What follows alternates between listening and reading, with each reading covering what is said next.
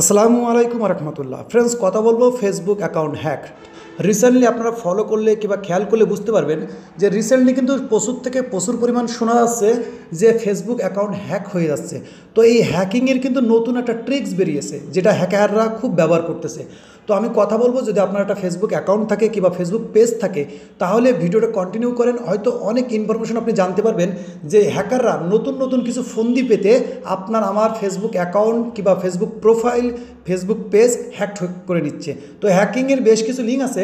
সেটা হচ্ছে কি, দেখবেন হঠাৎ করে আপনার নোটিফিকেশন বারের মধ্যে ফেসবুকের লোগো লাগায়। লোগো লাগিয়ে একটা নোটিফিকেশন এসেছে, যেখানে হয়তো লেখা আছে যে your change your email confirm your email ইত্যাদি। তো এরকম মনে করেন যে কোনো একটা জায়গায় ইমেল আসছে। তো ইমেলটা আসলে আপনি মনে করতেছেন যে এটা ফেসবুক থেকে, তরফ থেকে এসছে, আপনি সে কী করতেছেন? সেই লিঙ্কের উপরে ক্লিক করতেছেন ক্লিক করার পরে আপনার এক্সেসটা আর এক জায়গায় চলে যাচ্ছে যাওয়ার পরে অটোমেটিকলি দেখতেছেন আপনার অ্যাকাউন্টে হ্যাক হয়ে গেছে।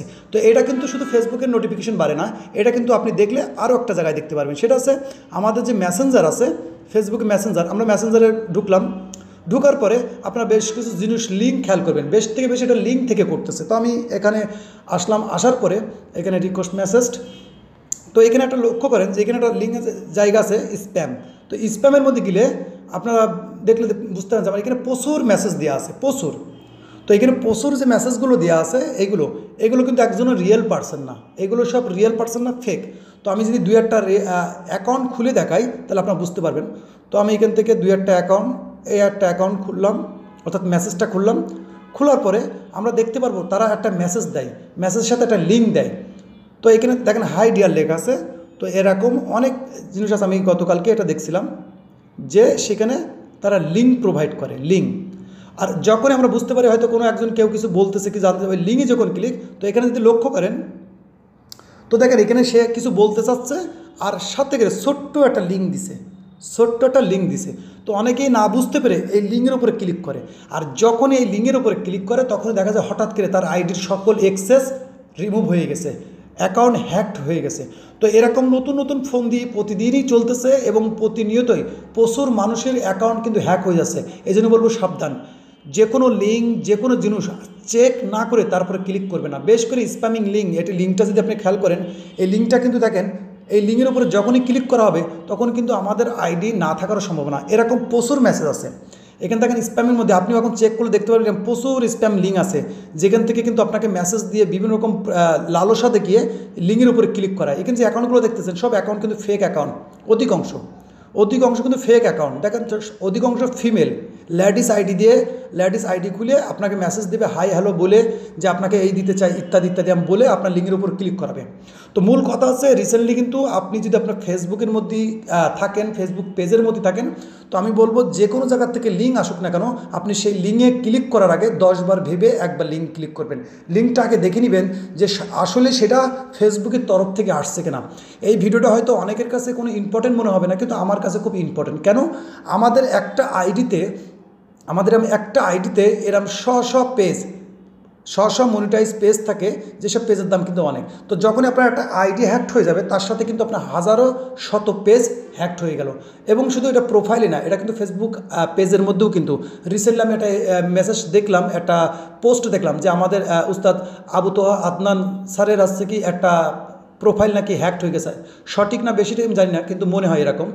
তো আপনার যদি একটা ফেসবুক অ্যাকাউন্ট থাকে প্রোফাইল থেকে অবশ্যই আপনি এই জিনিসগুলো নজর রাখবেন। আর ইম্পর্টেন্ট যে বিষয়টা আছে, আপনার ফেসবুকের বেশ কিছু সেটিংস আপডেট করে রাখবেন, যেটা আমি রিসেন্টলি একটা ভিডিও দিয়েছি যে সেটিংসটা আর বেশি থেকে বেশি একটা জিনিস চেক করে রাখবেন যে আপনার আইডিটা আপনার ফেসবুক আইডিটা আপনার মোবাইল আপনার পিসি কম্পিউটার ছাড়া উইদাউট কোথাও লগ ইন আছে কিনা, সেটা দেখার জন্য সেটিং অ্যান্ড প্রাইভেসি তারপর সেটিংস আসার পরে আমরা সেটিংস থেকে এখানে আমরা পেয়ে যাব পার্সোনাল ডিটেলসের মধ্যে ক্লিক করব।